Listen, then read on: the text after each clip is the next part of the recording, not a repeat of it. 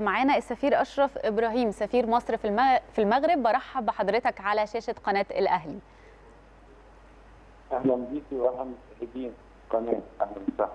آه عايزين نسأل حضرتك يا فندم في الأول كده في البداية لحد دلوقتي مفيش تأجيل رسمي طبعا لمباريات آه نص نهائي دوري أبطال أفريقيا صح كده؟